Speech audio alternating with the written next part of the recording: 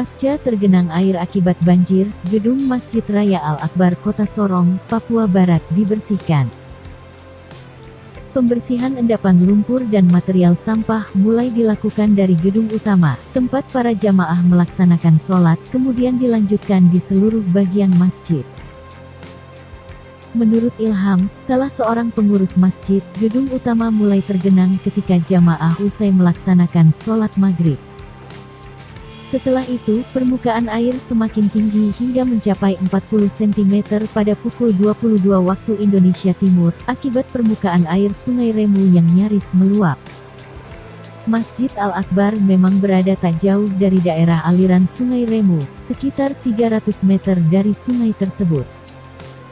Setelah hujan reda, genangan air yang melanda masjid seluas kurang lebih 2.400 meter persegi ini perlahan mulai surut.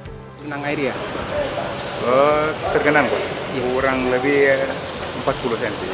Kalau masjid ini kita mulai kemasukan air itu setelah sholat maghrib. Oh. Namun puncaknya eh, sekitar jam 10 malam. Memang karena kondisi alam, iya.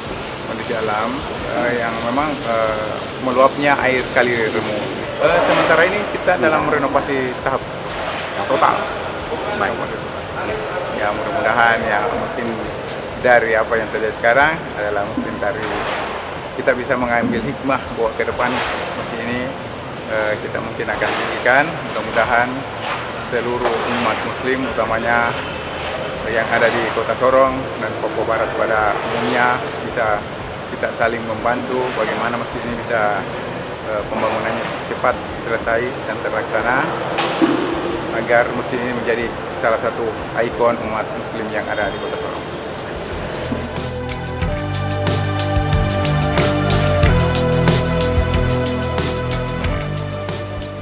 Sebelumnya, hujan lebat selama kurang lebih 4 jam mengguyur wilayah Sorong dan sekitarnya pada Kamis sore hingga malam 16 Juli, dan mengakibatkan banjir di hampir seluruh kawasan. Tinggi genangan air mencapai pinggang orang dewasa terjadi di kawasan Jalan Ahmad Yani, pinggir Sungai Remu yang nyaris meluap saat itu.